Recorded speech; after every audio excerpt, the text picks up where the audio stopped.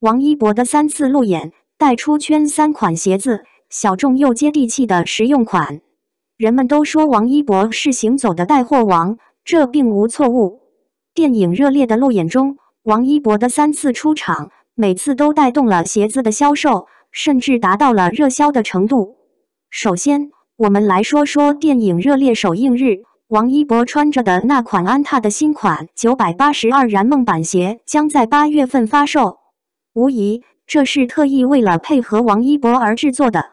作为安踏的全球代言人，我们都知道王一博的生日是八月五日，这双鞋也可以看作是一份生日礼物。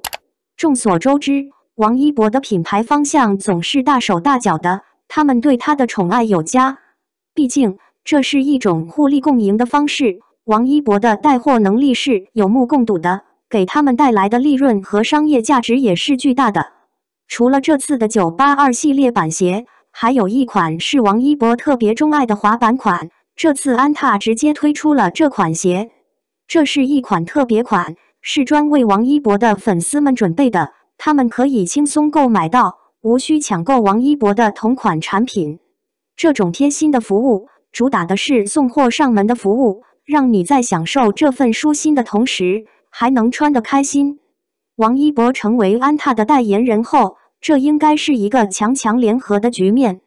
从过去的孤勇到现在的国货之光，王一博的选择让我们看到了大格局。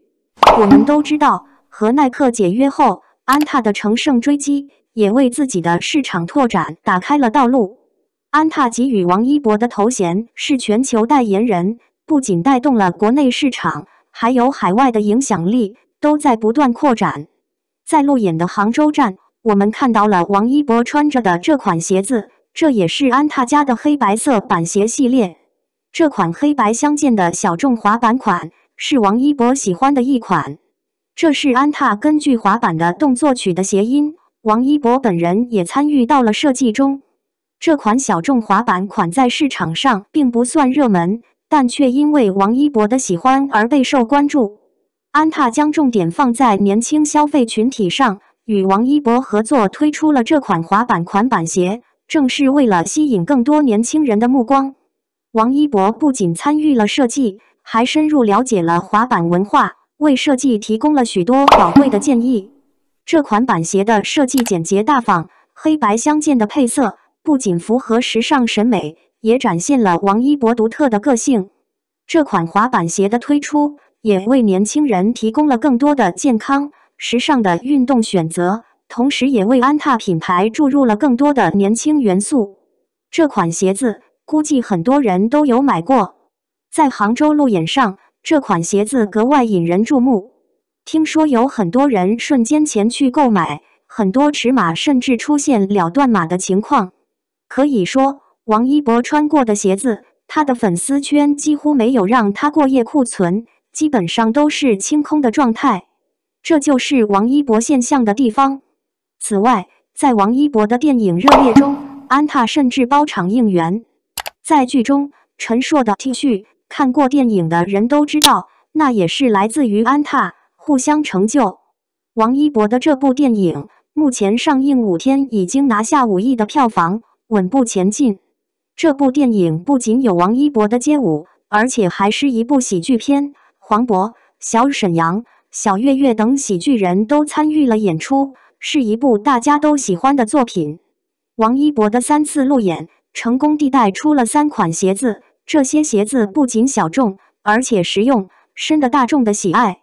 首先，王一博的代言能力无疑是非常强大的，他的每一次亮相，无论是在电影还是电视剧，还是在各种公开场合，他都能成功引起大众的关注。并成功带动产品的销售，这一次的三次路演也不例外。他成功带出了三款安踏的鞋子，这三款鞋子不仅小众，而且非常实用。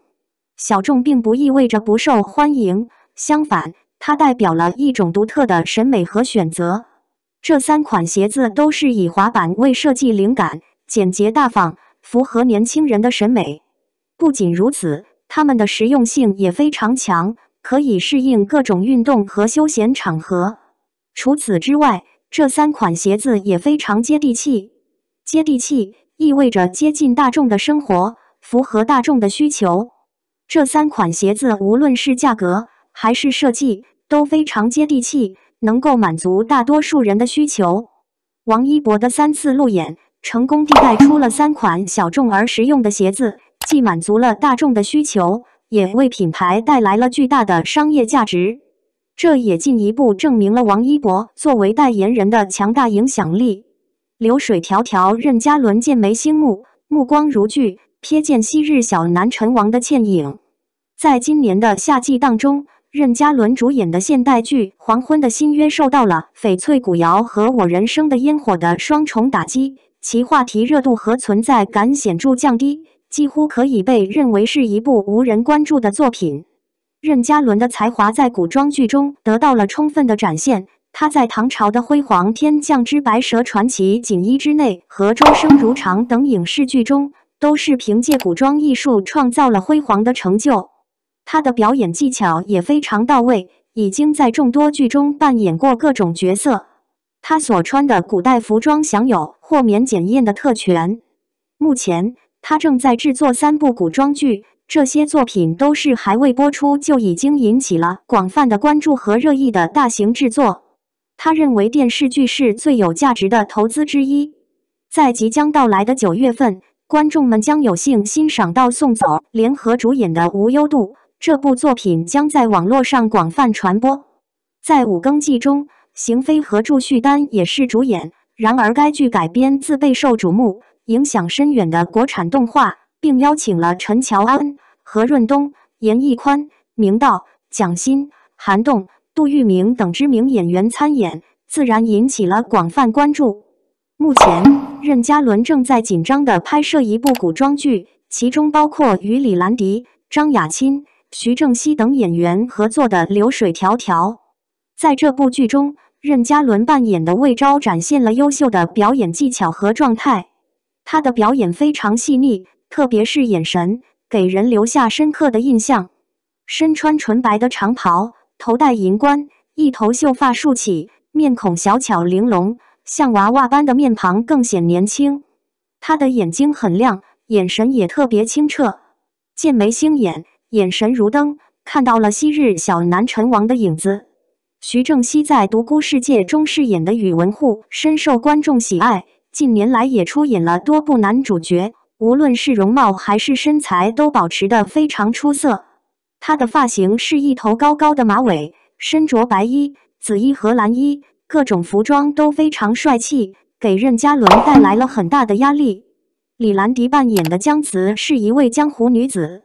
李兰迪曾因在《梦回大清》中的角色过于丰满而被众人嘲笑不适合古装，但在《星落凝成糖》中，她的身材明显减轻。凭借他灵活自然的表演技巧，成功的扭转了局面。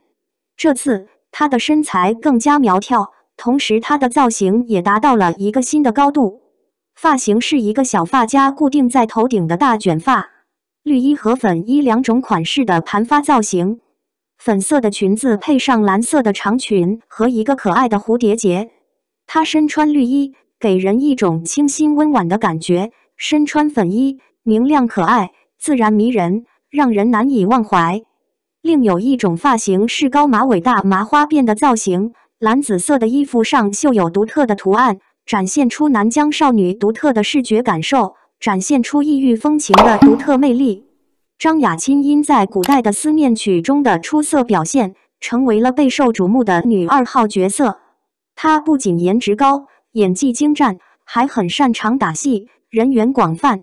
全网都在期待她的火爆，希望有一部大制作能欣赏到她的演技，让她扮演一个大女主。据说该剧中扮演女二号玉莲的角色并未得到充分的展示。我想她一定是一个很好的演员。她身穿一袭雪白的衣裳，手握一根长长的麻花辫，简单而优雅。在《少年游之一寸相思》和古代的思念曲中，她展现出了。流水迢迢是一部展示了任嘉伦深厚演技的古装剧，他的表演再一次让人眼前一亮。在剧中，任嘉伦塑造的角色有着剑眉星目、目光如炬的独特形象，这也是他成功捕捉了角色内心世界的一个重要表现。他的眼神充满了力量，就像一个燃烧的火炬，照亮了黑暗，同时也揭示了角色内心的复杂情绪。任嘉伦的形象和角色设定让人想起了他在昔日的小南陈王中的表演。那时的他年轻、热血，充满了冲劲；现在的他在演技和人格魅力上都有了长足的进步。他用自己的努力和才华，一次次超越自我，用生动的演绎让观众感受到角色的独特魅力。看到任嘉伦在《流水迢迢》中的表现，不禁让人期待他在未来的作品中能有更多突破和惊喜。他的演技已经在不断的提升，他的角色塑造也越来越丰富多元，这都表明他是一个非常有才华和潜力的演员。